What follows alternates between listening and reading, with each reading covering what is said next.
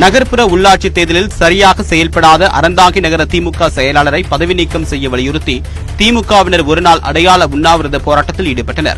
நடைபெற்று முடிந்த தேர்தலில் அறந்தாங்கி நகராட்சியில் உள்ள இருபத்தி ஏழு வார்டுகளில் திமுக கூட்டணி கட்சியினர் இருபது வார்டுகளை கைப்பற்றினர். இந்நிலையில் பதிமூன்று மற்றும் பதினேழாவது வார்டுகளில் திமுக வேட்பாளர்கள் தோல்வி அடைந்ததற்கு நகர செயலாளர் ஆனந்தின் செயலற்ற தன்மையே காரணம் என்ற குற்றச்சாட்டு எழுந்துள்ளது. மேலும் அதிமுகவுக்கு ஆதரவாக செயல்பட்டு சொந்த கட்சிக்கு எதிராக ஆனந்த் செயல்பட்டதாக கூறி அவரை பதவி நீக்கம் செய்ய வலியுறுத்தி திமுகவினர் ஒருநாள் அடையாள உண்ணாவிரத போராட்டத்தில் ஈடுபட்டனர்.